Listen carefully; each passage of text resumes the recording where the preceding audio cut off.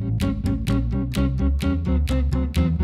Сегодняшний салат может стать не только отличным перекусом без ущерба для фигуры, но и отличной инвестицией в здоровье вашего организма. Ведь для него нам понадобится отварная куриная грудка, это белок в чистом виде, сваренное вкрутую одно куриное яйцо, в меру продукт тоже очень полезный, черешковый сельдерей, кладезь микроэлементов, ну и пекинская капуста, кроме всего прочего, отличный источник клетчатки. Ну что, поехали? Для начала нарежьте отварное куриное мясо.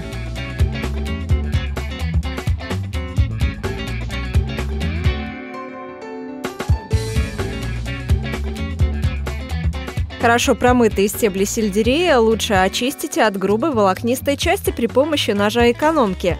Затем поделите черешки на небольшие части и каждую нарежьте соломкой.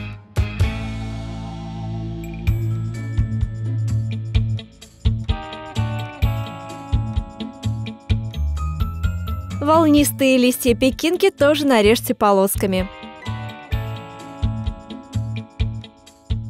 В кулинарии, как и в любом другом искусстве, стремятся к гармонии, поэтому яйцо нарезаем тоже полосками, как и другие ингредиенты. Правило одинаковой нарезки ингредиентов относится ко всем салатам.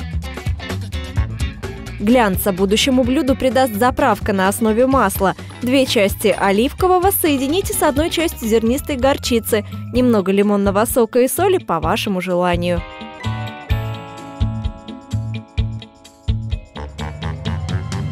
Заправьте салат, ну а дальше вы знаете, что с ним делать.